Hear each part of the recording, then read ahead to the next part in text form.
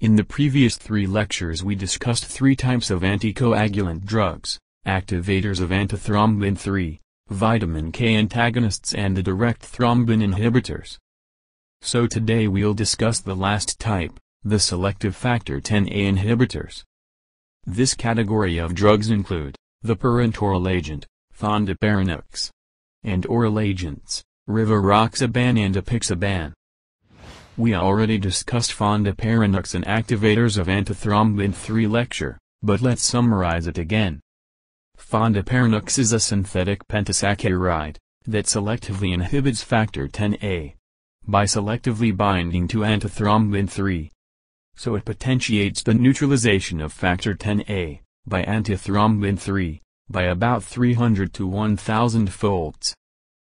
It is approved for use in the treatment of deep venous thrombosis or pulmonary embolism, and for the prophylaxis of venous thromboembolism. Fondaparinux is eliminated unchanged in urine, so it is contraindicated in patients with severe renal impairment. Like the other anticoagulant drugs, bleeding is the major side effect.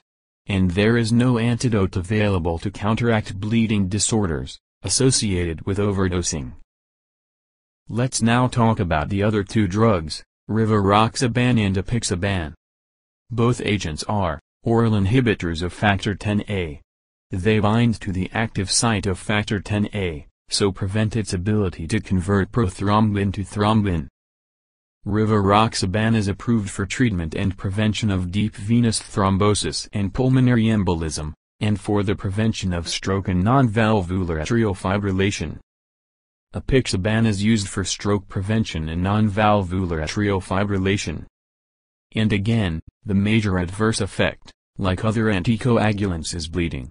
And no antidote available to reverse bleeding caused by these agents. These agents are renally eliminated, so they shouldn't be used in severe renal dysfunction. And finally, they shouldn't be suddenly stopped. That's all for this video. Now we finished talking about the antiplatelet and anticoagulant drugs.